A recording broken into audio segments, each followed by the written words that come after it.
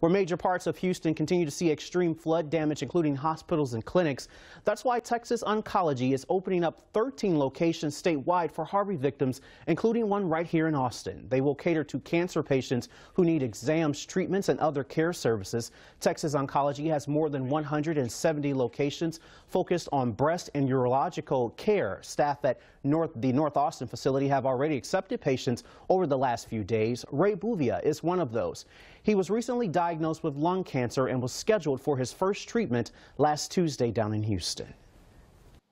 I don't think any patients can get to him, and I don't think um, any of their staff can get to work. Okay, they had floodgates down there that they spent a lot of money on that apparently saved most of it from really severe flooding. Um, but um, just getting there, you know, and now we've got a backlog, and so, you know, before they can get started up, who knows when.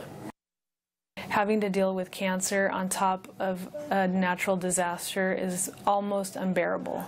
And so anything that we could do to support them, we really have to work together. Well, if you think you may need assistance, please call that number below that you see on your screen. It will also be posted with this story at kvue.com. Well, things